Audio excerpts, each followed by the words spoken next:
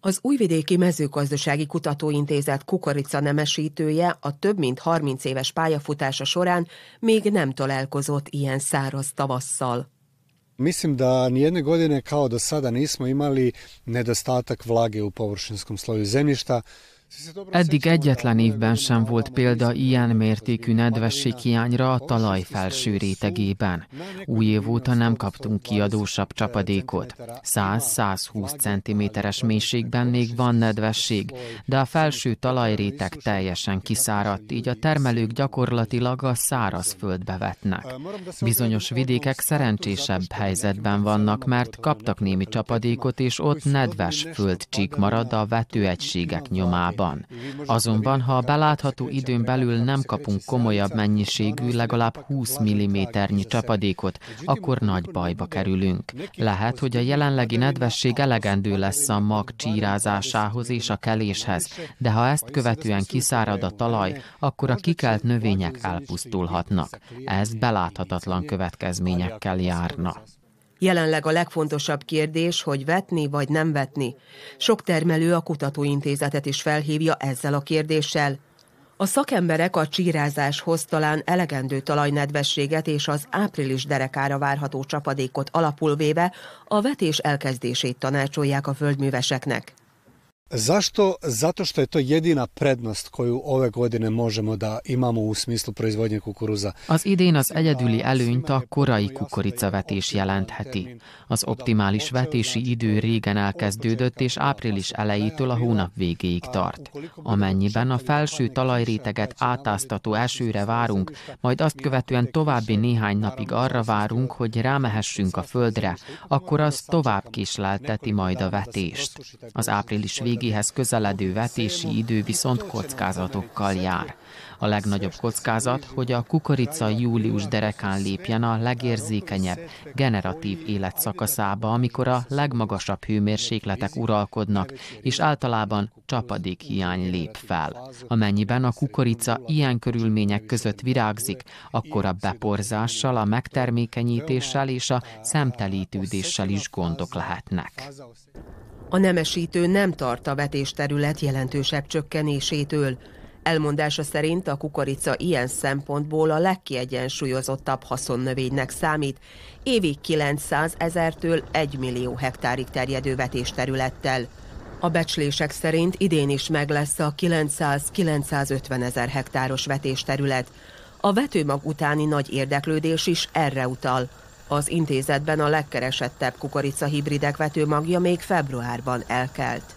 Az utóbbi évtizedben minden év meglepetéssel kezdődik, mondja Nemes Robert agrármérnök az intézet területi képviselője. Tavaly ez időtájt mínusz 5, mínusz 7 fokos fagyok voltak, egy korábbi évben pedig a felázott talaj akadályozta a vetést. Akinek sikerült eddig elvetni, az talán annak talán sikerült, hogy a mag a vetési zónában valamekkora mennyiségű nedvességhez jusson. Ugye? Aki most vetne, az a száraz földbe fogja bevetni a magot. Az egyik is jó, a másik sem olyan nagyon rossz. A legrosszabb az, amikor egy ilyen kifejezetten meleg és száraz időszakban továbbra is próbáljuk a talajelőkészítés, simítást, ezt még jobban kiszárítsuk a földet. Hát a szántások nem mindig ideálisan simák, és akkor mi történik? Ott, ahol egy kicsit kidomborodik, ottan ugye leszedjük a szárazat, és oda, ahol már a laposban van, arra a szárazra még egy száraz réteget ráhúzunk, és mi történik? Akkor ott, ahol a dombot, a partot leszettük, ott a mag a nedvesbe kerül, ugye, és ott, ahol a lapos volt, arra ráhúztuk azt a szárazföldet, oda a mag pedig szárazba kerül, és akkor mi történik? Az történik, hogy itt kell, amott nem kell. Szóval ez a legrosszabb verziója a dolgoknak, ezt kell minden áron kihagyni. Ha az ember elkészítette a földjét, akkor várjon egy pár napot, ne legyen ugye, hiányos kellés, ne legyen gond aztán.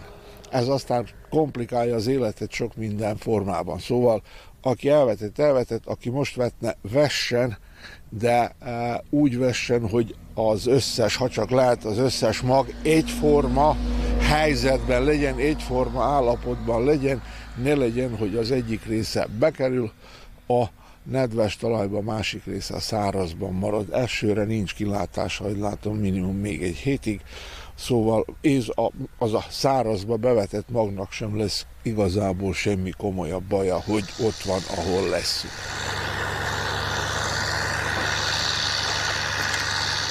A pirosi határban porol a föld a gépek nyomában.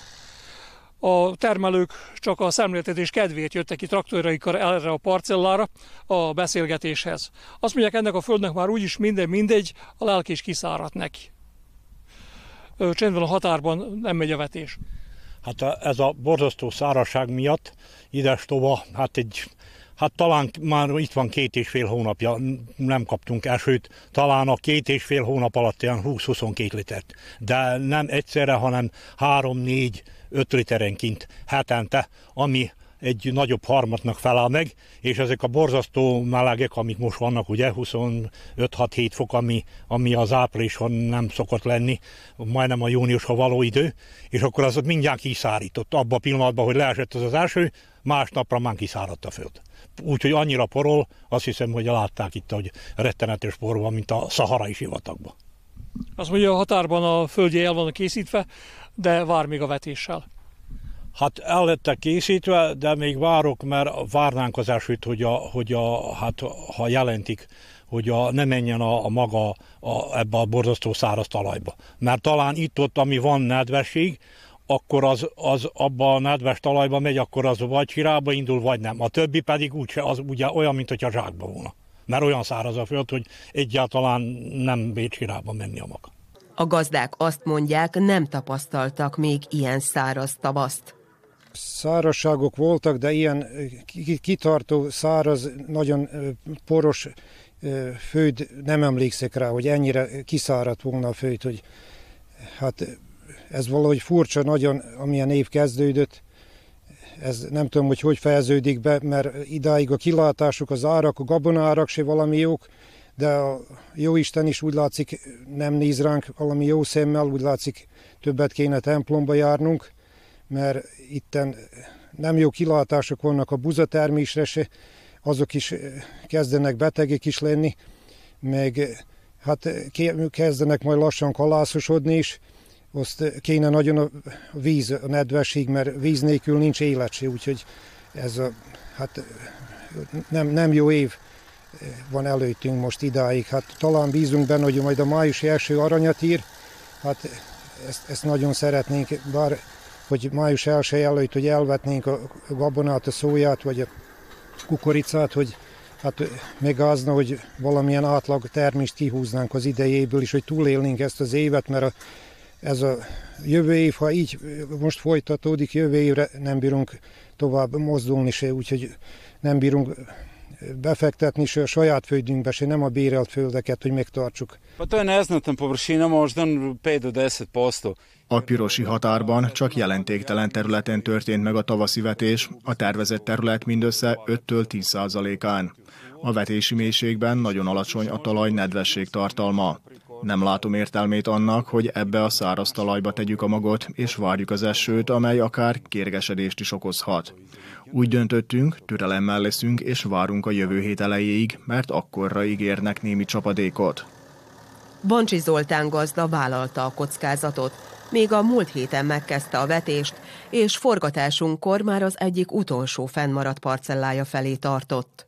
A mai nap folyamán befejezem a kukoricavetést úgyhogy idáig elvetettem azt hiszem, hogy 80 holdat. Most jól csinálom, nem csinálom, azt nem tudni, mert itt, ahogy figyeltem, ugye a száraz talaj az körülbelül 7 centi, 6-7 centi mélységig van. Na most ezzel a vetőgéppel, ezzel a diszkes vetőgépekkel lebírom tenni 8-9-re. Úgyhogy mondjuk rá a 80-90 százaléka a magnak nedves földben van. Úgyhogy úgy vagyok akkor, hogy én vettem, hogy a jövő hét folyamán akkor megbírjam kezdeni a szójavetést. Itt nem lett okos az ember. Hát a Csoroszi nyomában kevert föld marad, ott nem volt táborgatva talaj eddig. Hát ott mondjuk rá csorohat, de mondjuk rá az a 6 centi, vagyis száraz talaj után van nedvesség. Most mondjuk rá ezek a gépek, ezek a diszkes gépek, őt lebírom tenni mondjuk rá út 7-8 centim pontosan. Szóval nedvesbe, de hát akkor is a szélein a végén marad ez a száraz. De azt mondom, kb. 80%-a nedvesbe van. De hát az is kérdés, hogyha egy-két héten belül nem lesz eső, az is kiszárad. Úgyhogy hogy sikerül, majd meglássuk. Mennyit lehet még várni a vetés, a kukoricavetésre? A kukoricavetéssel én gondolom május 1 ráérünk, mert ha jó év lesz nedvesség, meg ilyen melegek lesznek, a kukorica behozza ezt a két hetes késést, vagy három hetes késést. A szóját még májusban is lehet vetni, ha nem túl kései fajták a szóják, szerintem akkor májusban is nem lesz semmi baja, ha elvesik május 5-ig, 6-áig, az még én szerintem belefér a vetés időbe. A szakemberek kiemelik, hogy a körülmények miatt idén csökkenteni kell a hektáronkénti tőszámot, és nem kell törekedni a maximális befektetésekre, mert azokat az optimális környezeti adottságokra határozták meg. Idén viszont alig ha lesz kifizetődő a teljes termesztés technológia alkalmazása.